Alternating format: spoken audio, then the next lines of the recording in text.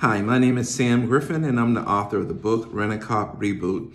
I want to speak to my seasoned security professionals out there as you begin to start to work in club environments.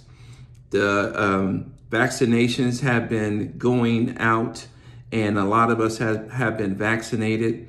So, a lot of the places that have been closed are now going to be open, and that means clubs. When you are assigned to a club environment, you want to be mindful of a few things when working those environments.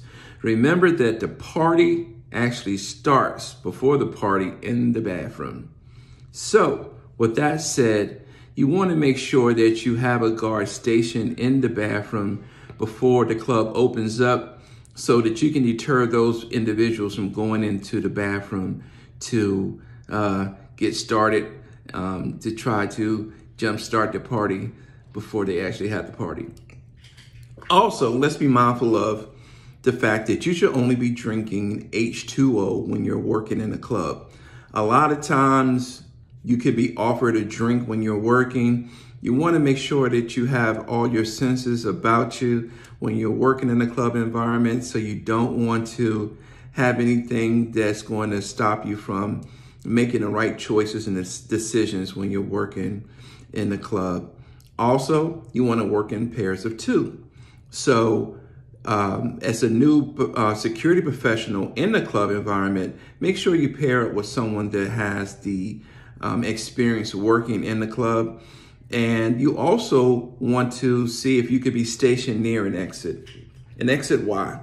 Exits are um, a good place to be able to open up the door in the event that a fight breaks out and your team member is bringing someone to eject them from the club. So you want to make sure that you can be there to assist.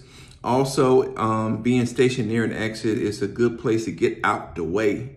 You want to make sure that you can be safe and in the event that a fight breaks out, you can open up the door and um, move to safety. So remember, you know, you, today's decisions do affect your tomorrows. And when working in club environments, you just need to focus on the, the crowd. Don't let the music take control as, you know, it sometimes can and make you lose your focus. Be vigilant, be smart, and remember, today's decisions do affect your tomorrows.